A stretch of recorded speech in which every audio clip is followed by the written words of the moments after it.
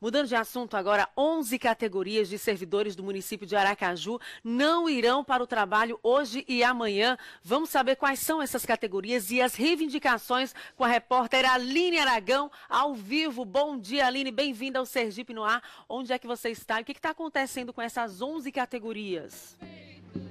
Ah, ah, ah, muito bom dia, Tamires França, e bom dia a você que assiste ao Sergipe no ar. Nós estamos na Praça General Valadão, Tamires, no centro de Aracaju, em frente à Secretaria de Finanças do município. E aqui a manifestação é nesse ritmo. Vamos ouvir um pouco. Ah, ah, ah,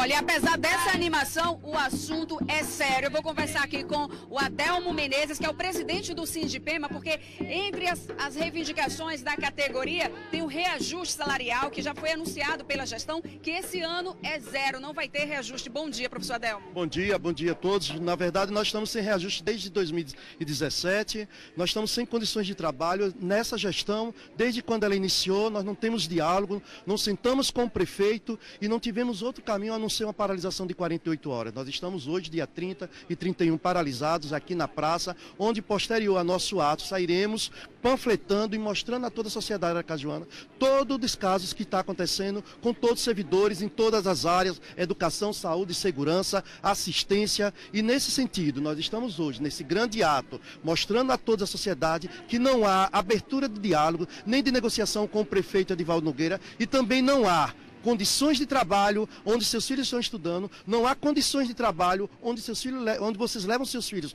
que é para os postos de saúde e outro problema sério que nós estamos, que são os patrimônios, que é a segurança. A segurança hoje que é garantida também pela Guarda Municipal e estamos aqui com 11 sindicatos, nesse momento aqui, para iniciar o nosso ato e mostrar à sociedade cajuana que o servidor público, o município de Aracaju precisa ser valorizado e precisa ser reconhecido nesse governo. Muito obrigada pelas suas informações e participação. Lembrando, então, nesses dois dias, as escolas são 74 escolas na rede municipal de portas fechadas. Não tem aula nesses dois dias na rede municipal. E eu vou conversar também com o doutor Sérgio Oliveira, ele que é diretor do Sindmed, que essas outras categorias, ao todo, são 11 categorias que realizam essa, esse protesto nesses dois dias também. São 48 horas com, de paralisação. Mas o Sindicato dos Médicos está em greve já há alguns dias e essa greve permanece. Doutor Sérgio, muito bom dia.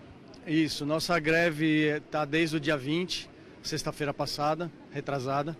E a gente está também eh, somando aqui ao movimento dos outros sindicatos, porque nós entendemos que uh, o funcionalismo público do município de Aracaju está sofrendo um sério risco, com o risco de pejotização, ou seja, contratação através de PJ. Isso vai gerar um, um prejuízo na carreira, não só dos médicos, mas de todos os outros profissionais mas os médicos já estão num processo bem avançado de pejotização. Nós também estamos lutando pela, pela reposição salarial e, e reajuste e pela tabela única dos médicos. Os médicos hoje recebem tabelas separadas e, lógico, eles privilegiaram no passado, na época do, da, da primeira gestão do Edivaldo, priorizado algumas categorias, uma parte dos médicos menor, dando reajuste, isso gerou uma uma diferença muito grande entre, entre, entre salários dos médicos por hora trabalhada, que gira em torno de 15%, 20%. Então nós também estamos pedindo essa correção.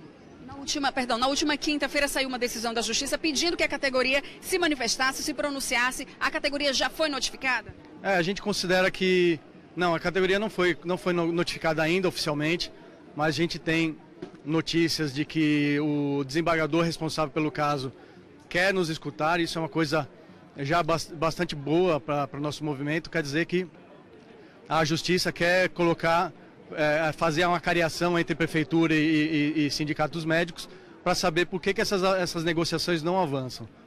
Agradecer suas informações e participação. Tamires, você pediu para eu citar categorias, são 11, viu? Acho que eu não lembro não, vou citar algumas. Professores, médicos, enfermeiros, agentes de endemias, agentes de saúde, trabalhadores do DETRAN, é, guarda municipal, assistentes sociais, psicólogos, muita gente, então ao todo 11 categorias, eu não consegui lembrar todas, citei algumas aqui, mas ao todo são 11 categorias que realizam aí essa manifestação, essa paralisação de 48 horas. A gente deixa o espaço aberto para a gestão municipal se pronunciar. Tamires. peito, a Aline Aragão lembrou de quase todas as categorias, informação dada com precisão, em tempo real, ao vivo. E a gente abre espaço para que o poder público também possa se manifestar em relação a todas essas reivindicações.